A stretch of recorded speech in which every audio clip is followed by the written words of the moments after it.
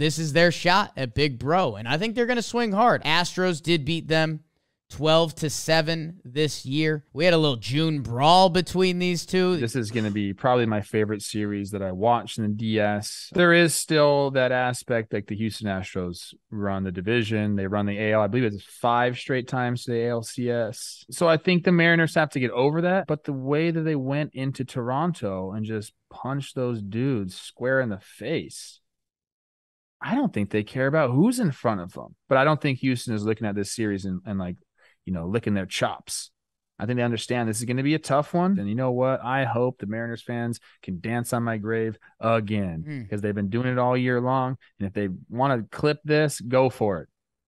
I think the Houston Astros win in five. Mariners Twitter account. Post it. Trevor Plouffe hates you. I love Seattle. I've said so many good times. I have been elevated uh, higher than that Space Needle in Seattle.